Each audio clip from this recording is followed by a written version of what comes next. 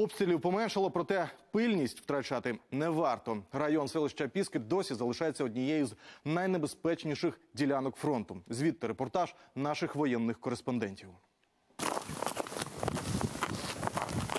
Зима не лише вибілює знелюднений населений пункт, але й вносить свої корективи в інтенсивність бойових дій. Стріляють менше, проте і оборона тут міцна та ешелонована, бо напрямок танконебезпечний.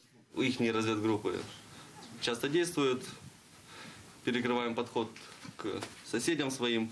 И так же само наши ребята, которые находятся правее от нас, перекрывают подход к нам. Им в голову стрельнуло, нужно выстрелить.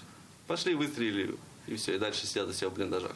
Військові розповідають, нещодавно у супротивника пройшла ротація. Вперше за довгий час на ворожих позиціях з'явився прапор. Схоже, супротивник поки що не освоївся на місцевості, і це на руку військовим. І прилітає гранатомет, СПГ.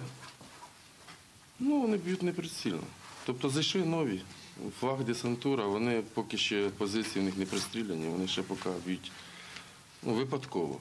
Тобто вони чують, звідки постріли йдуть, туди і б'ють. Ну, спокійно це відносно. Тобто танчик не стріляє, це вже значить спокійно.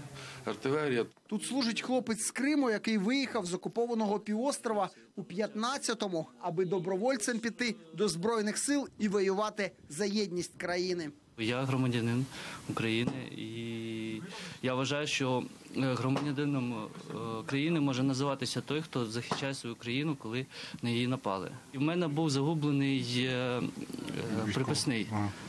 Так, вони це сказали, що це не проблема. Потім на Шерлан Вояк розповідає, про це знає тільки мати. Іншим родичам він не сказав. мама з розумінням, з батьком я не спілкуюсь. А родичі, то вони, в принципі, не знають.